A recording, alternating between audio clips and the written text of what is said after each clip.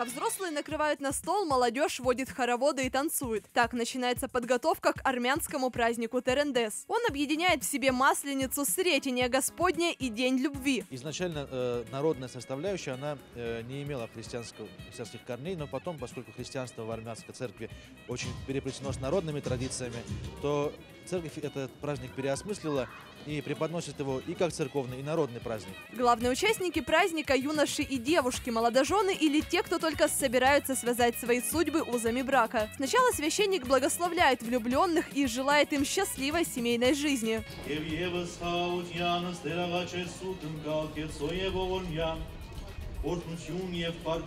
Дальше молодоженам вручают подарки и переходят к одной из основных традиций. Огонь – главный атрибут праздника. Считается, что если паре удастся три раза перепрыгнуть через костер, не размыкая рук, то их семья будет крепкой, а любовь вечной.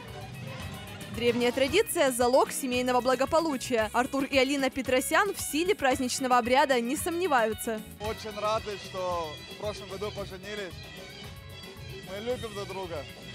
Я думаю, каждый молодой человек, который любит свою нацию, свой народ, должен придерживаться своих традиций и передавать эти традиции уже следующему поколению. Считается, что пламя прогоняет хворь и невзгоды, принося взамен счастье и благо. А когда огонь погаснет, каждый сможет взять по угольку на память, чтобы будущий год был удачным. Татьяна Балыкина, Евгений Горбузов. Утро нового дня.